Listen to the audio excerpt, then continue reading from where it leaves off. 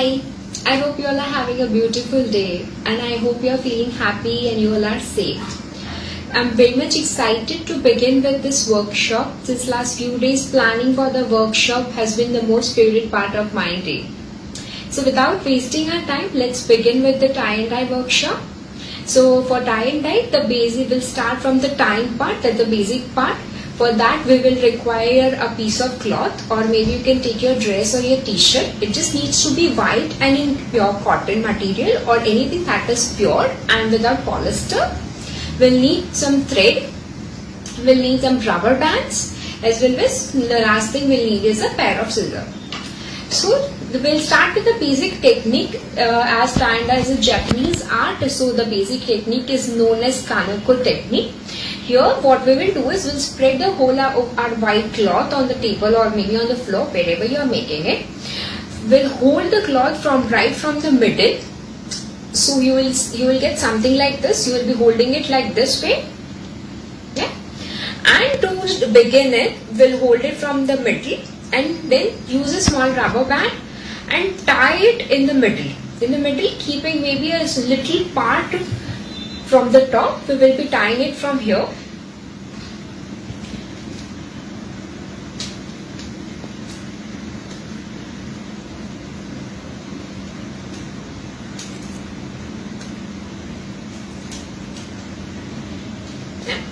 We'll tie it very tightly so that the uh, the dye doesn't slip in. Okay. So now keeping some more space, keeping a little bit of space extra, we'll tie another rubber band. Again, we'll be tying it very tightly. You can take as many round as it is possible.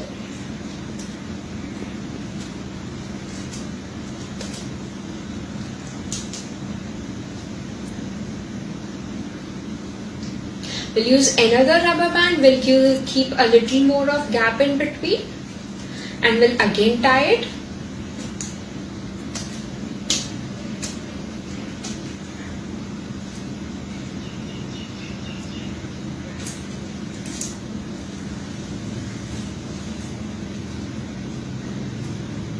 Now the uh, now it depends on you how much gap you are keeping in between. There is no compulsion that the gap should be more, the gap should be less. It all depends on you and your creativity. I'll show you how it will look like. This is one of the example. This is a cushion cover I had made it through the simple, uh, the basic technique. See, it looks so beautiful. So here there is no specific uh, area or no specific design how much uh, gap I'm keeping, how much extra more, however it is. It all depends on your creativity. Yeah?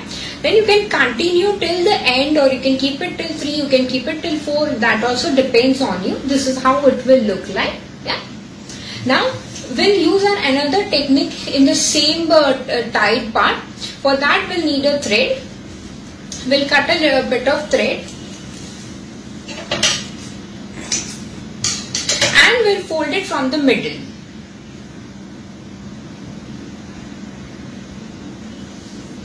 Yeah. So that the reason is that the, the thread becomes a little thicker this is the only reason. So if it is thick, you do not have to tie it so many times and the area is blocked perfectly well. I'll start tying the thread from the top part. I'll keep it like this. I'll keep a little part up over here and I'll keep on rotating the thread. Yeah. I will take it a little above the uh, above the rubber band part and then keep I'll and then I'll come down.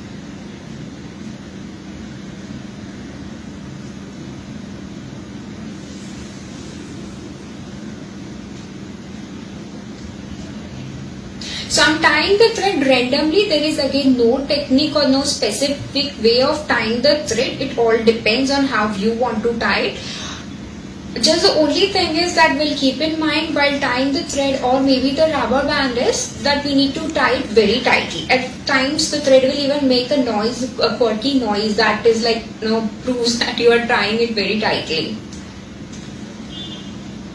And again the reason is the same reason that uh, you know, the color doesn't zip in wherever you are tying the thread or maybe wherever you are tying the rubber bands.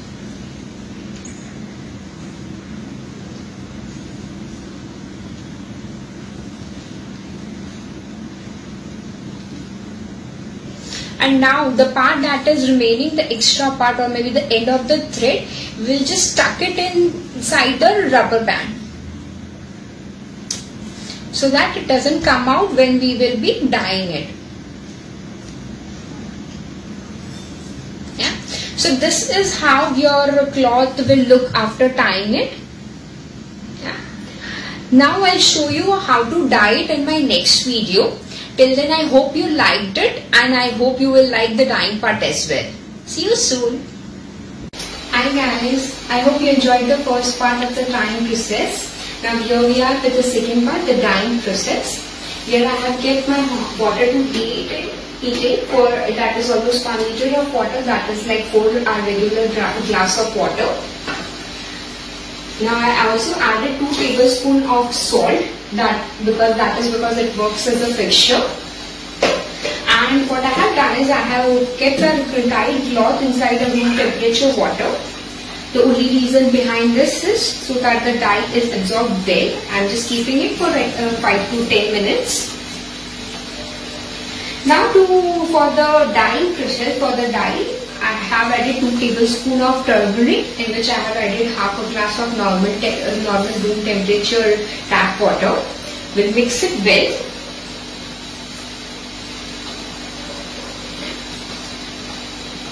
So this is how it will form. Once uh, the water reaches to 70 to 80 degree, that is almost for 8 to 10 minutes, we'll add our dye for adding the dye, we'll use a strainer. I just strain the dye. You see it's quite liquidy. We do this process so there is no residue remaining whatever it is, it is always there in the, in the strainer. And I'll again mix the water and the dye well. So now we call this, uh, call this as a dye bath.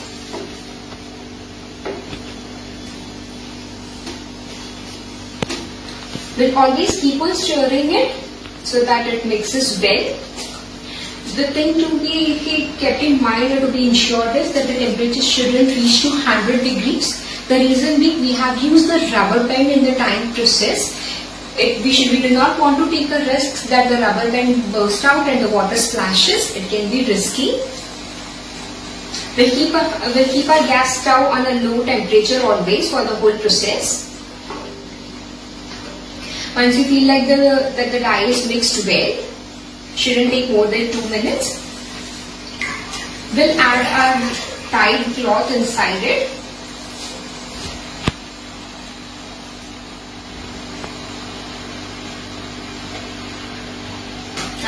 Keep on stirring it. As we are using gas stove, it is a request that if there is a child doing it, it should be done under the supervision of adults only.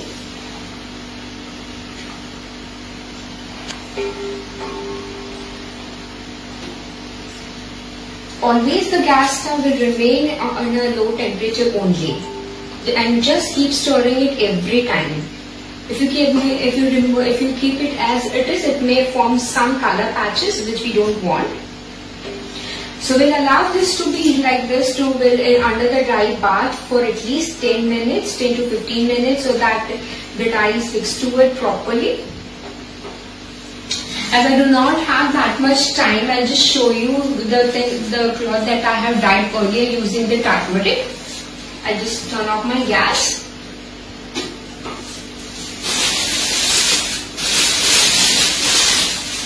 This is my pre-dyed cloth. I have dyed it using the turmeric. So now as a part of the procedure, what we'll do is, whenever once the, your cloth is dyed, we'll keep it under the running tap water.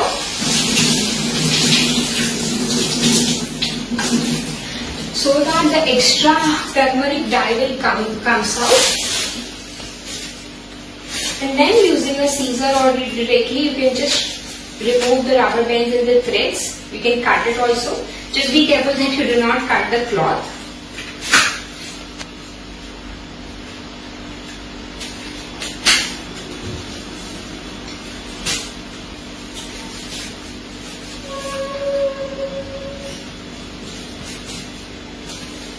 So this is how it looks. These are the designs that we have made. Here in the corner I have made, I have not made the complete circle but I used the first technique in which we did not use the thread and we just used the rubber, used the rubber bands.